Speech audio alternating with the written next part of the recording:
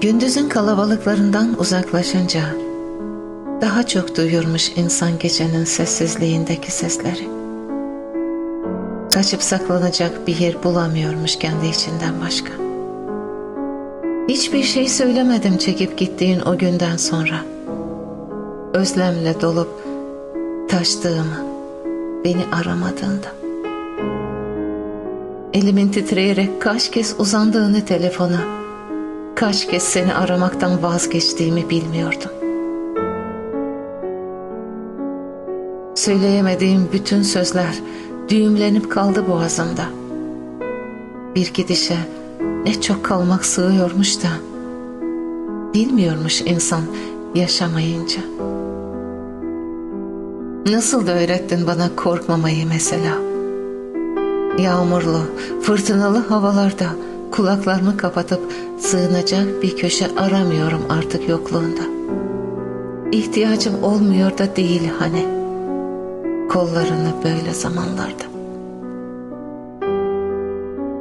Hani sarılmışsın eskisi gibi. Hani geçecek diyorsun korkma.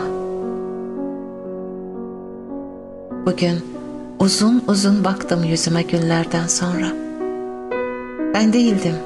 Bir başkasıydı sanki. Hiç görmemiş gibiydi gözlerim seni. Ellerin yüzümde gezinmemişti. Dudakların dudaklarımı hiç öpmemişti sanki. Bir ceset gibiydi. Solgundu tenim. Donuk, yabancı. Bir çift göz.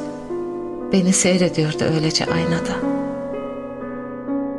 Ağır bir hastalık geçirmiştim de nikahet dönemine girmiş gibiydim.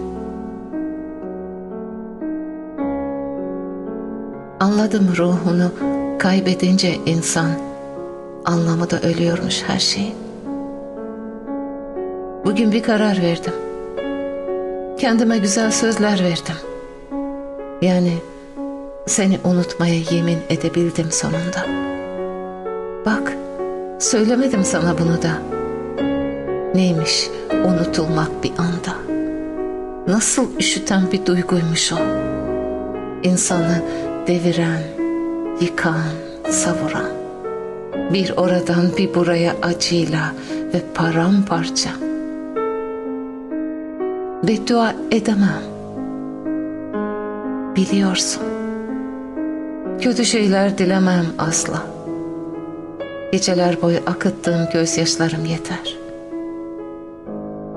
Anlarsın benim gibi yapayalnız kaldığında. Soluk duvarların arasında bastırıp avuçlarını yüzüne çaresizlik içinde ağladığında.